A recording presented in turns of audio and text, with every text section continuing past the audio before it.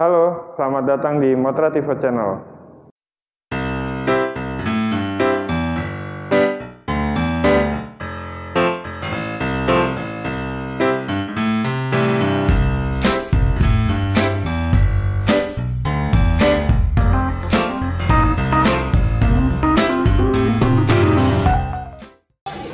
Gua sekarang lagi sama customer gua Om Fajar. Halo Om.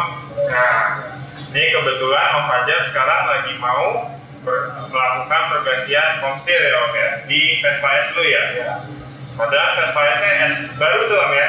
baru baru tahun kemarin. Baru tahun kemarin ya. Tapi udah harus melakukan pergantian komstir. Kenapa tuh? Om? Karena gue kemarin pas udah kerja tuh Hmm. lagi jalan kena lubang om, lumayan parah sih itu. Oh berarti gara-gara lubang awalnya ya? Awalnya. Kencang gitu. Lumayan. Terus? Terus gue ngerasa setelah kena lubang itu udah handlenya tuh udah mulai susah digerakin, udah susah mulai dibelokin. Susah tuh berat. Dia berat. Hmm. Karena kirinya udah berat. Jadi ya, Berarti feeling lu langsung ke komstir gitu ya? Oh, berarti kita langsung cek aja ya Vespanya.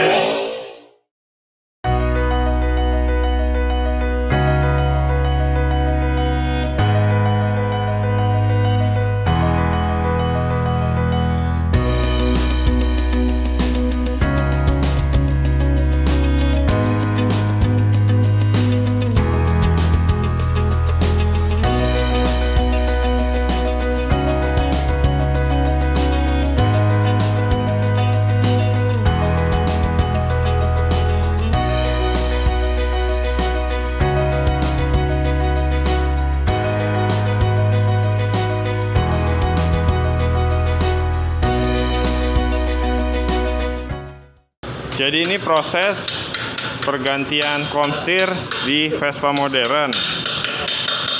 Nah, ini agak sulit karena kita bisa lihat di bagian foreknya udah mulai ada beberapa karat yang bikin untuk pemasangan dan nyopotnya juga agak agak lebih susah.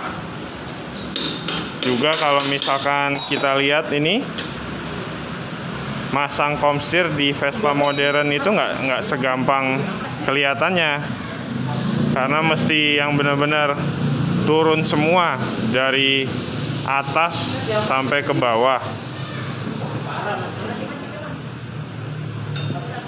Jadi kalau ganti komstir disarankan untuk pergantian satu set yang atas dan bawah agar kondisi juga lebih prima